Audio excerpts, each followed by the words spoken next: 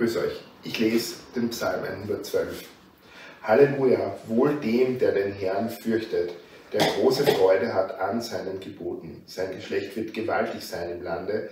Die Kinder der Frommen werden gesegnet sein. Reichtum und Fülle wird in ihrem Hause sein.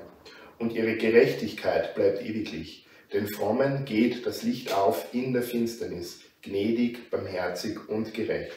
Wohl dem, der barmherzig ist und gerne leid und das Seine tut, wie es recht ist. Denn er wird niemals wanken, der Gerechte wird nimmer mehr vergessen. Vor schlimmer Kunde fürchtet er sich nicht. Sein Herz hofft unverzagt auf den Herrn. Sein Herz ist getrost und fürchtet sich nicht, bis er auf seine Feinde herabsieht. Er streut aus und gibt den Armen. Seine Gerechtigkeit bleibt ewiglich.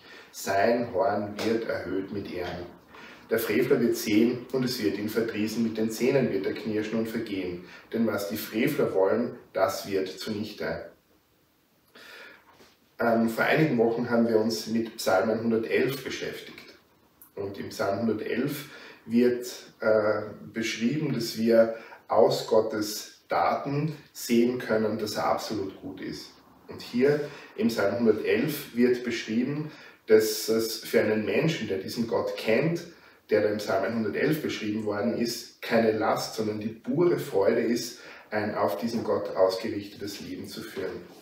In Psalm 111 sehen wir in den Versen 2 bis 5, wie, wie, äh, wie reich dieser Gott ist und welche Fülle ähm, bei ihm ist. Und hier in den Versen 3 bis 5 sehen wir, ähm, welchen Reichtum Gott schenken kann und wie wir mit diesen materiellen und immateriellen Segnungen umgehen sollen, nämlich mit der gleichen Großzügigkeit und Barmherzigkeit, die, die Gott kennzeichnen. Gottes Beständigkeit wird im Psalm 111 beschrieben in den Versen 6 bis 7 und hier im Psalm 112 sehen wir in den Versen 6 bis äh, 7 und Anfang 8, dass auch unser Leben, wenn es auf Gott ausgerichtet ist, von derselben Beständigkeit und äh, von derselben Ruhe und Standhaftigkeit gekennzeichnet sein wird, wie es Gottes Wesen ausmacht. Dadurch, dass Psalm 111 den Psalm 112 spiegelt oder eigentlich umgekehrt, ähm, sehen wir auch, dass unser Charakter verwandelt wird, wenn wir auf Gott ausgerichtet werden und immer mehr sein Wesen widerspiegelt.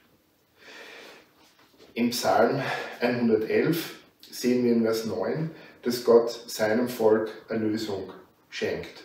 Und wir wissen, dass Jesus Christus diese Erlösung gebracht hat durch sein Leben, durch seinen Tod und durch seine Auferstehung. Und hier in Psalm 112 in Vers 9 ist beschrieben, welche Auswirkungen diese Erlösung hat. Es ist die ewige, die ewige Gerechtigkeit, die Gott schenkt die ewige Gerechtigkeit in einem Leben mit ihm, in Verbindung mit ihm. Und was folgt aus, dieser, aus diesem Leben mit dieser geschenkten Gerechtigkeit? Ich lese noch einmal die Verse 6 bis 8 im Psalm 112. Der Gerechte wird niemals wanken, der Gerechte wird niemand mehr vergessen. Vor schlimmer Kunde fürchtet er sich nicht. Sein Herz hofft unverzagt auf den Herrn. Sein Herz ist getrost und fürchtet sich nicht. Gott segne euch.